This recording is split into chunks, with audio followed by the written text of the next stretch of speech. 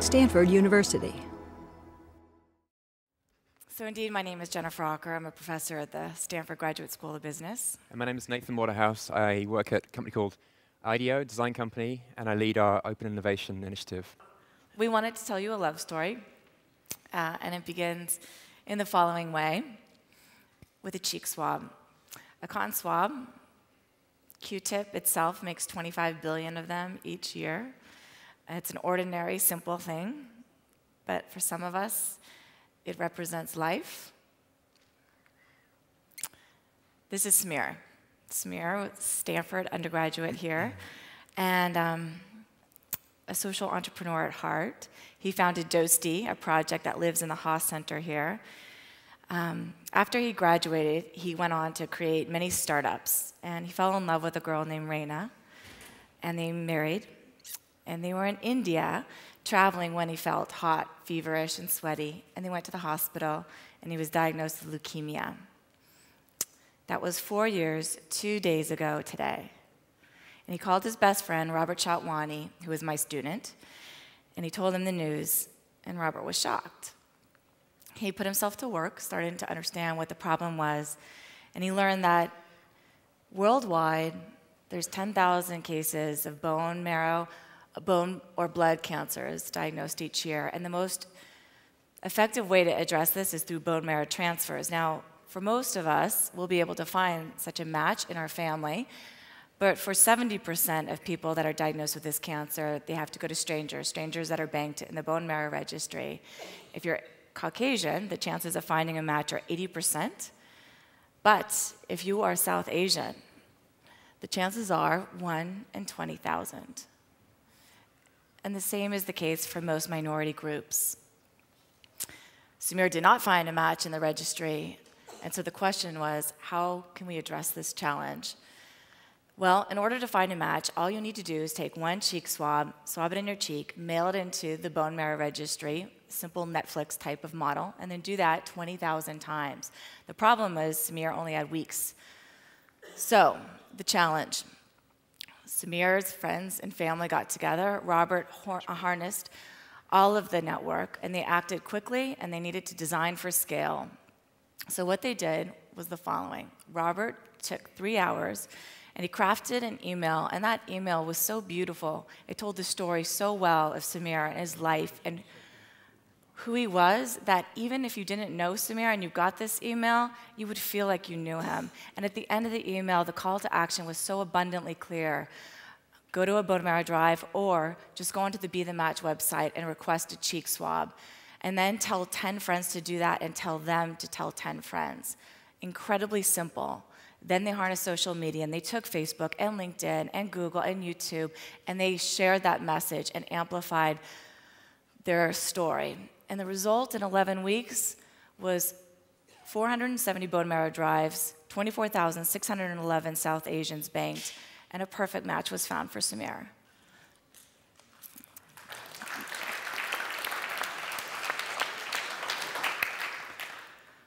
whenever I tell this story, I feel so much hope at this moment. Sameer vlogged from the hospital and he shared his story because he felt connected to 24,611 people that he didn't even know. And he talked about how much he appreciated life and he even called on his friends to bank another 25,000 people in the registry because he knew of four other people who were searching at the same time as him and he appreciated everything he was given. He even put his bone marrow transfer onto YouTube so people could see that the process is not nearly as scary or daunting as you think. It can be merely a three hour procedure similar to a blood transfer. And the lessons they learned were fundamental and simple and yet powerful. The importance of a clear, single focused goal an idea of getting 20,000 South Asians in weeks started with this idea of identifying about 500 highly influential Indians and then sharing the message with them so they could share it to their network. Grabbing attention and making people look, engaging and telling a story in a way that makes you step closer, and then maybe most importantly, arming others so that they could act because Robert and his friends couldn't do this on their own. An update on Sameer he um, passed on three months after the transfer. As many of you know, the chance of finding a match and it working is not just about the quality of the match, but how quickly you can get it. And this is Sameer and Reena two days before he passed on.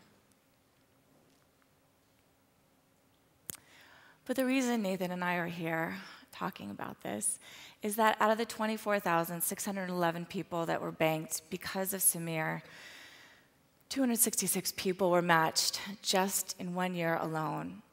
And if you can get a perfect match immediately, the odds move from 40% to 80% survival. So that's 266 people that don't just have the gift of hope, but they have the actual gift of time.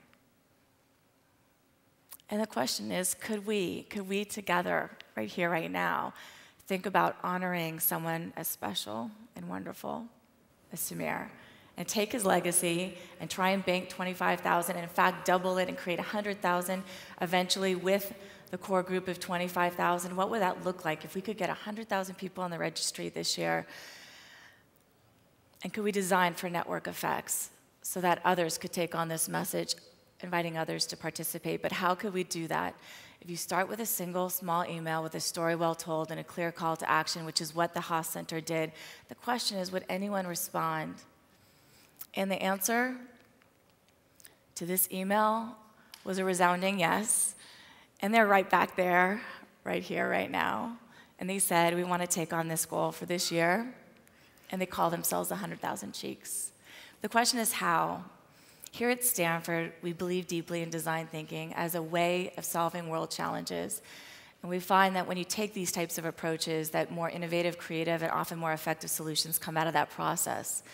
And if we could engage a discrete network with distinct skills, we also know from network theory that tipping points are more likely because if you tap those discrete networks, social change is more likely. And that's how they got to know Nathan. Thanks, Jennifer.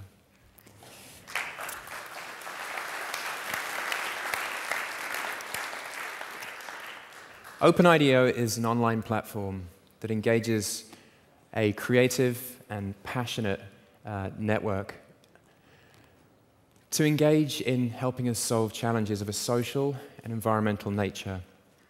So far, over the last nine months, we've tackled a range of challenges, everything from helping kids eat more healthily with Jamie Oliver to in trying to improve maternal health in low income countries uh, with Oxfam and Nokia.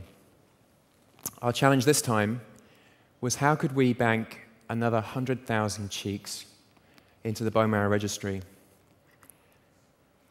The approach we took was starting with a clear call to arms. The challenge question how might we increase the number of registered bone marrow donors to help save more lives? The way OpenIDEO works is we walk through key phases of the innovation process over a series of weeks. We start with the inspiration phase. This is all about learning about the problem before we jump to ideas. It's about trying to understand what's already been tried and using that global network to figure out what's already been tried in different countries around the world and where best to innovate. Next comes the concepting phase. This is really where you share your idea as visual as possible and get feedback early on it so that you can iterate and improve it. You can also build on the ideas of others, which makes it a little bit less daunting. Next phase is evaluation. This is about equipping the community with the right criteria to help us make decisions around which ideas to move forwards and which might really make a big dent in cancer. And then finally, realization is about bringing those ideas to life. So, how did the challenge go? Well, we got an amazing response from our community. And I'd like to give you a taste of some of the things that came out of the challenge. As I said, the first phase is about learning about the problem. We call it inspiration. Here's an example, something that Vineet Singhal shared, one of the leaders of the 100K Cheeks here at Stanford. He helped the community to understand that 80% of the time, donating bone marrow is actually a painless procedure. Only takes three hours, and it's pretty much just a bone, it's just a, a blood transfusion. That really helped to debunk some of the myths that the community had around bone marrow donation and really helped them to focus on the creative aspect of trying to solve this problem. Thanks to inspirations like these and hundreds of others, we learned a great deal about this problem such as there are barriers to bone marrow donation, such as the irrational fear of needles and the misunderstanding of this process in general. We learned that it's actually a journey, it's not uh, just a one off process like donating blood, and it starts by becoming aware and of understanding the need for this important contribution. We also found five key ways to innovate in this space. One of the unique things about the platform is it encourages collaboration amongst the community. It's not just about the final person or people that actually created the winning solutions, but everybody that helped us get there. So we're going to take one of these themes, make it easy, which is all about really just trying to make it every day. What if we could make donating bone marrow and registering on the bone marrow something that's just everyday and simple? Gina shared with the community and built off this Make It Easy theme the fact that um, the eligible age for donating bone marrow is between 18 and 60. Kate was inspired by this fact and suggested that perhaps the DMV, the Department of Motor Vehicles, could be involved somehow. Vincent built off this with his idea of swabbing your cheek whilst you're waiting in line at the DMV. And here's his concept I'm going to share with you a few more of the final concepts, and you can find out more about these after this talk. Could we create a mobile application that would help groups to organize bone marrow drives with their own networks? Could we provide people with the right tools so that they can create their own grassroots movement and make a real impact in this area? Could we create swab parties where friends get together learn about bone marrow donation, and swab their cheek at the same time? Or, and this is the final concept I'm going to share with you, could we create an international website that contains your local donor center information and information about um, drives that might be happening in the next few days, wherever you are in the world, so that we can really make a global impact in this problem of bone marrow donation? It's only been a couple of weeks since the challenge finished, but already we're starting to see some of these ideas, most of them in fact, get taken up by different groups. I'd like to hand back over to Jennifer to talk through some of the things that we've learned along this process. Thank you. So, what did we learn? First of all, everything about Sameer in this story just is almost spiritual. There's so many coincidences that have come along the line um, so if anyone's interested in this, please just reach out to either one of us. Uh, and we'll tell you more. But the learnings from this process were powerful. Designed for others, there's research to show that when you solve problems of others and not yourself, you're more likely to think clearly, creatively, innovatively, and the outcomes are often more impactful um, for many, many reasons. We've had the opportunity to design for others for so long, but with the net, with social media, the opportunity for such global leverage has never been existent. The second is this idea of creating just enough. What the students in Open created was not 100% perfect. It was 80% perfect, but it was just enough. And when you engage in a community and you create something that's perfect, they look at it like an art gallery and they don't see themselves in it. But if you create something that's 80% good and then hand it to them, they can see themselves in it. And what's needed in that project, as much as what's strong in that project, resonates with them. So, what can you create that is just enough? And this idea of cultivating optimism, cultures of optimism, persistent optimism, garner ideas, and ideas become infectious in those contexts. Can we tackle some of the world problems, but concurrently develop a culture of optimism and finally, how do we design for networks, preferably discrete networks with discrete skill sets? And if you think of that single email that Robert sent, it took him three hours and it hit a network, and that network flourished. And it led to a book called The Dragonfly Effect, which again hit a network, and that flourished. And then there's a set of students right there, right now, 100,000 cheeks, and they have their network. And that eventually led to Open IDEO engaging with this project and that has its own discrete network. And if you look at what has happened just in the last six months from this simple story, over a million people have been touched, and each one of those people have their own networks with Facebook and LinkedIn and Twitter. And if you think of yourself right here, right now, and even if you just think of three networks that you possess And if you could just share this simple story, and we'll tweet it out and email it to you with those three networks, and you ask them to do the same, and they share the same pattern, just imagine what we're able to do in terms of touching the 10,000 people who are dealing with this challenge right here, right now. I hope you no longer think of this as an ordinary, mundane thing, but as a something that's sacred.